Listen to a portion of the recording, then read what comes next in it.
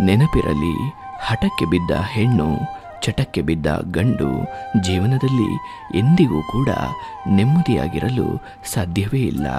ಕೋಪದಲ್ಲಿದ್ದಾಗ ಅಳುತ್ತಾ ಎಲ್ಲವನ್ನು ಮಾತನಾಡುವ ವ್ಯಕ್ತಿ ನಿಜವನ್ನೇ ಹೇಳುತ್ತಾನೆ. ಏಕೆಂದರೆ ಕೋಪ ಮತ್ತು ಅಳು ವ್ಯಕ್ತಿಗೆ ಸತ್ಯವನ್ನು ಮಾತನಾಡಲು ಒತ್ತಾಯಿಸುತ್ತವೆ. ಒಮ್ಮೆ ತನ್ನ ಪಾದದ ಕೆಳಗೆ ಸಿಕ್ಕಿ ಹಾಕಿಕೊಂಡಿದ್ದ ಅಳಿಲನ್ನ ಕಂಡ ಭಗವಂತ ಕೇಳಿದ, ನೀನೇಕೆ ಕೂಗದೆ ಸುಮ್ಮನಿದ್ದೆ? ಎಂದು. ಆಗ ಅಳಿಲು ಹೇಳಿತು, ಯಾರನ್ನ ಕೂಗಲಿ ತಂದೆ? ನೀನೇ ತುಳಿದ ಮೇಲೆ. ನೆನಪಿರಲಿ ಯಾವ ವ್ಯಕ್ತಿ ಸ್ಪಷ್ಟವಾಗಿ ಸ್ವಚ್ಛವಾಗಿ ನೇರವಾಗಿ ಮಾತನಾಡುತ್ತಾನೋ ಆತನ ಮನಸ್ಸಿನಲ್ಲಿ ಯಾವುದೇ ಮೋಸವಿರುವುದಿಲ್ಲ. ಜೀವನದಲ್ಲಿ ಅರಿತು ಬಾಳುವುದಕ್ಕಿಂತ ಮರೆತು ಬಾಳುವುದನ್ನು ಕಲಿಯಬೇಕು. ಏಕೆಂದರೆ ಇಲ್ಲಿ ಯಾರಿಗೆ ಯಾರೂ ಅಲ್ಲ.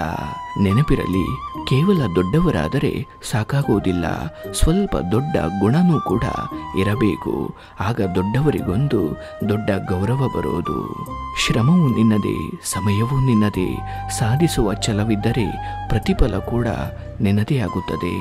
ಸಂತೋಷದ ಕ್ಷಣಗಳು ಎದುರಾದಾಗ ಮನಸಾರೆ ಅನುಭವಿಸಿ, ಖುಷಿಪಡಿ, ಏಕೆಂದರೆ ಈ ಪ್ರಪಂಚದಲ್ಲಿ ತುಂಬ ಕಷ್ಟದ ಕೆಲಸವೆಂದರೆ ನಮ್ಮನ್ನು ನಾವು ಸಂತೋಷವಾಗಿಟ್ಟುಕೊಳ್ಳುವುದು.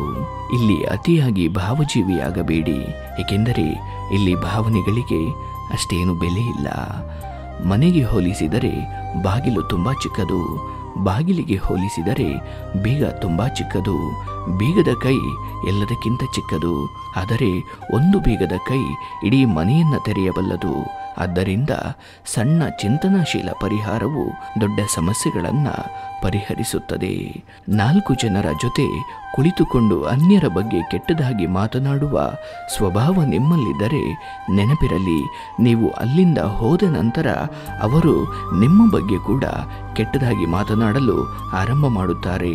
ಇದುವೇ ಸತ್ಯ. ಯಾವಾಗಲೂ ಸಂತೋಷದಿಂದ ಇರಿ, ಏಕೆಂದರೆ ಸಂಜೆಗೆ ಬರೀ ಸೂರ್ಯ ಮಾತ್ರ ಮುಳುಗುವುದಿಲ್ಲ. ನಿಮ್ಮ ಆಯಸ್ಸಿನ ಒಂದು ದಿನವನ್ನ ತೆಗೆದುಕೊಂಡೇ ಮುಳುಗುತ್ತಾನೆ. ನಿಮ್ಮನ್ನು ಟೀಕಿಸುವವರಿಗೆ ಸಾಧನೆಯ ಮೂಲಕ ಉತ್ತರಿಸಬೇಕೇ ಹೊರತು ವಾದ ಕಿಳಿಯುವುದರಿಂದ ಯಾವುದೇ ಪ್ರಯೋಜನವಿಲ್ಲ. ಒಂದೊಂದು ಸತ್ಯ ಮಾತನಾಡಿದಂತೆ ಜೀವಿಸಲು ಆಗುವುದಿಲ್ಲ, ಬರೆದಿಟ್ಟಂತೆ ಬದುಕಲು ಆಗುವುದಿಲ್ಲ. ನಮ್ಮಿಂದ ಬೇರೆಯವರಿಗೆ ತೊಂದರೆಯಾಗದಂತೆ ಬದುಕಿದರೆ ಸಾಕು, ಅದೇ ಸಂತೃಪ್ತ ಜೀವನ. ಓ ನನ್ನ ಮನಸ್ಸೇ, ಹುಟ್ಟು ಎಲ್ಲೋ, ಸಾವು ಎಲ್ಲೋ, ಬದುಕಿನ ಪಯಣ ಇನ್ನೆಲ್ಲೋ, ಆದರೆ ಪಯಣದ ದಾರಿಯಲ್ಲಿ ಸಿಗುವ ಸ್ನೇಹ, ಪ್ರೀತಿ, ವಿಶ್ವಾಸ ಮಾತ್ರ ಮನಸ್ಸಿಗೆ ತುಂಬ ಹತ್ತಿರವಾಗುತ್ತದೆ. ನೆನಪುಗಳೊಂದೇ ಇಲ್ಲಿ ಶಾಶ್ವತ. ಮಂದಹಾಸಕ್ಕಿಂತ ಅದ್ಭುತ ಆಭರಣ ಜಗತ್ತಿನಲ್ಲಿ ಯಾವುದೂ ಇಲ್ಲ. ಮುಖದ ಮೇಲೆ ತಿಳಿ ನಗುವಿದ್ದರೆ ಜಗತ್ತೇ ನಿಮ್ಮನ್ನ ಪ್ರೀತಿಸುತ್ತದೆ. ಒಂದು ಮಾತು ನೆನಪಿಡು. ಒಳ್ಳೆಯತನ ಅಪಾಯದಲ್ಲಿದ್ದಾಗ ಹೋರಾಟ ಕೇಳಿಯಲು ಹಿಂಜರಿಯಬೇಡ. ಈ ಜಗತ್ತಿನಲ್ಲಿ ಅದೃಷ್ಟವಂತ ಪ್ರೇಮಿಗಳು ಯಾರೆಂದರೆ ಕಷ್ಟಕಾಲದಲ್ಲೂ ಗಂಡನ ಪರಿಸ್ಥಿತಿಯನ್ನ ಅರ್ಥ ಮಾಡಿಕೊಳ್ಳುವ ಹೆಂಡತಿ, ಸಾವಿರ ಸಮಸ್ಯೆಗಳು ಇದ್ದರೂ ಹೆಂಡತಿಯನ್ನ ಬಿಟ್ಟುಕೊಡದ ಗಂಡ, ಇವರೇ ಅದೃಷ್ಟವಂತ ಪ್ರೇಮಿಗಳು. ಪ್ರೀತಿಯ ಮನಸ್ಸುಗಳೇ ಕಡೆಯದಾಗಿ ಒಂದು ಮಾತು. ಬದುಕು ಸುಂದರ ಅನ್ನುವುದು ಬರೀ ಕಾಲ್ಪನಿಕ. ಅದನ್ನು ಸುಂದರವನ್ನಾಗಿ ಮಾಡುವುದು ನಮ್ಮ ಕಾಯಕ.